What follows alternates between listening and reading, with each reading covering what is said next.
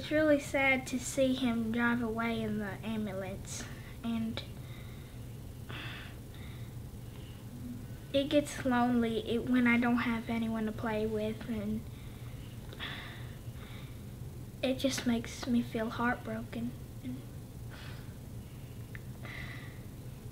It's kind of hard to describe it because so much happens in like a few seconds that you can barely describe it.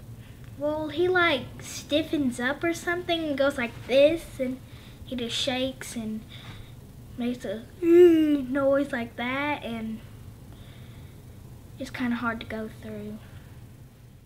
He doesn't talk. Uh, he can't play. He doesn't know anymore. He just pretty much lays around. If he's not sleeping, he's uh, just laying there. And uh, so it's not much of a quality of life for a child. Now he has all different kinds of seizures, all hours of day and night. It affects them in every way. They're mechanically, the way they walk, they can't focus um, because of the medications you have to put them on. Many times they're on seven and 8 mm-hmm. medications. He's been on eight medications at one time. So the side effects of the medications are as bad sometimes as the seizures, and they'll tell you that. They don't stop the seizures. Every drug you take has less than a 5% chance of working if the first three didn't work. And he's failed 16 drugs. He's currently on five drugs now, and he still seizes daily.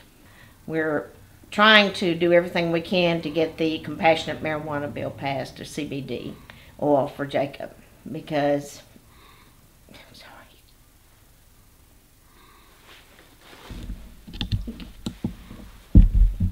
Because we don't have anything else. We are out of everything. We can't go up on drugs. We can't add drugs for Jacob. And he sees seizes every day. So we don't want to move. We don't want to have to move to another state to see if we can get something that'll help him.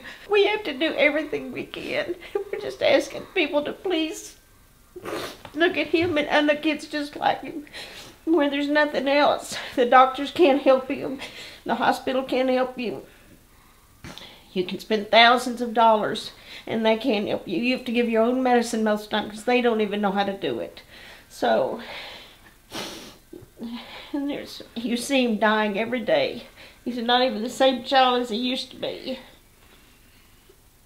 We're told if we don't stop him from seizing, he's going to start seizing and he won't ever stop. So we've got to try to do something. We're running out of time with him.